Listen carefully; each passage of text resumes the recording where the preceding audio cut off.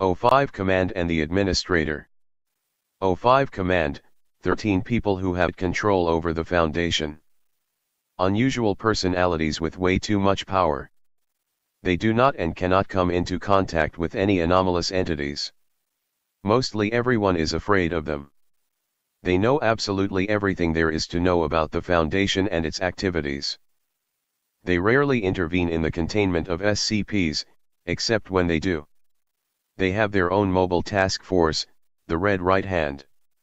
O5 Command are the masters of the Foundation, and not everyone know they exist.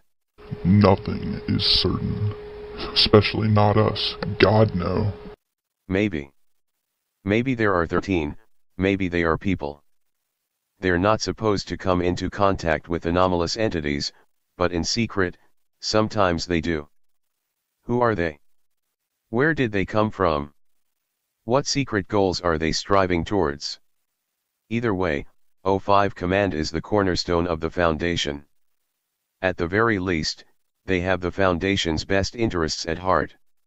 Maybe. The administrator, figure of little known nature playing a role best understood by O5 Command. Possibly anomalous, possibly multiple people. Once represented the Foundation in meetings with major world government figures, has since relinquished this role. Why? Maybe you're asking the wrong questions. It's an open secret amongst the upper echelons of the Foundation that the administrator, as popularly known, never at any point existed. But was a clever fiction created by another person or persons, or, something else, within the Foundation for the purposes of unifying of a fractious organization.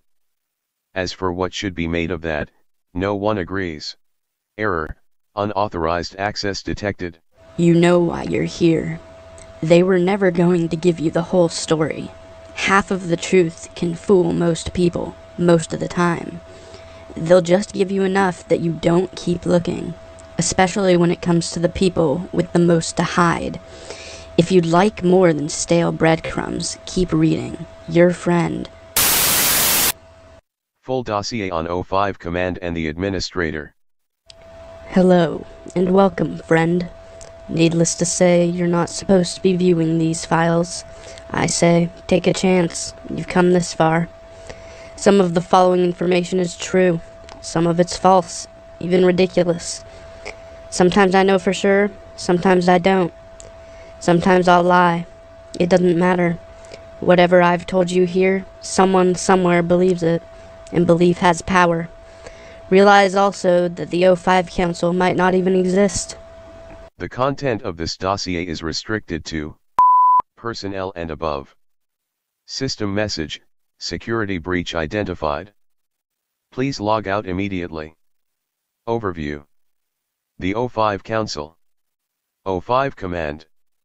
The Overseers. Overwatch. These are the people who have ultimate control over the Foundation. Each O5 member knows almost everything there is to know about the Foundation and its activities. Between them all, they know every single secret that the Foundation holds. Most Foundation personnel spend their entire careers without seeing them. Members below clearance level 2 don't even know they exist. Most people outside the Foundation have never heard of them, or don't think they are real. Most everyone is afraid of them. An O5 walks into a room, and everyone pisses their pants. That's what happens when you hold supreme power over one of the scariest organizations in world history. This dossier will show you contradictory reports on each of the O5 Council members. My research has been comprehensive, but the very nature of my enemy makes it impossible to know which answer, if any, is true. Perhaps there are multiple individuals sharing each O5 number. Perhaps dozens. But perhaps there is only one. Perhaps only one of each of the reports are true, or all reports are different facets of one person with stand-ins and disinformation stirred in. Perhaps none of these are true. The end of this dossier presents well